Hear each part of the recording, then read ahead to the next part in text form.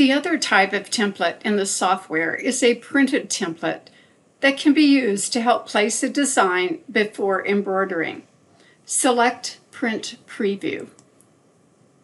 Click on Options, and there are a number of options that you can choose before you print the template. Color Film will show you all the objects that will stitch and all the colors in the design in the sequence they will stitch. The hoop template will show you the hoop center and the start and end crosshairs will show you where the design starts and where it ends. Design information will show you the colors in the stitching order along with how much thread is used for each color. You can choose to print the entire design or only selected objects.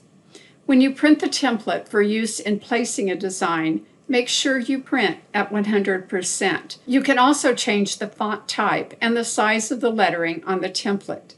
Standard will revert back to the defaults of the printed template. Layout template reverts the template to only printed lines. Experiment with each of these to learn how they affect the printed template.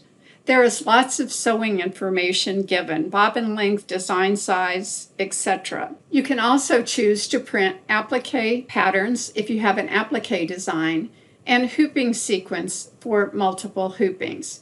After making your selection, click OK and the template will adapt to what you had selected. Here you can see the hoop. The crosshairs of the center of the hoop means that the design will start and end at the center.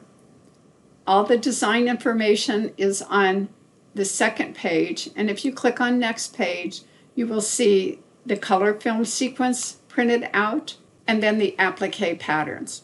If you decide not to print something, go back into options and uncheck what you don't want to print. Click OK and your print options are updated.